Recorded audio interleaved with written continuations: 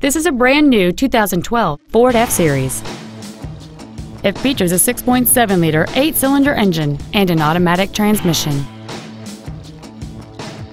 All of the following features are included. A low tire pressure indicator, traction control and stability control systems, front and rear reading lights, a trailer hitch receiver, a passenger side vanity mirror, an engine immobilizer theft deterrent system, an anti-lock braking system, side impact airbags, a split folding rear seat, and air conditioning.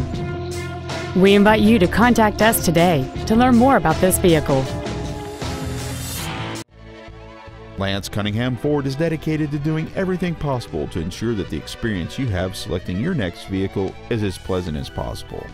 We are located at 4101 Clinton Highway in Knoxville.